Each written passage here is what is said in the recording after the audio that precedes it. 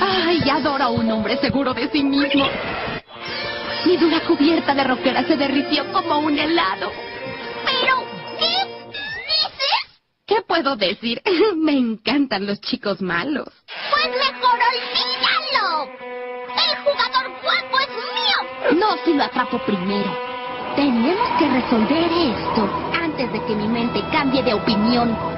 No pude evitar escuchar su conversación sobre lo maravilloso que soy y cómo les gustaría estar uno a uno conmigo.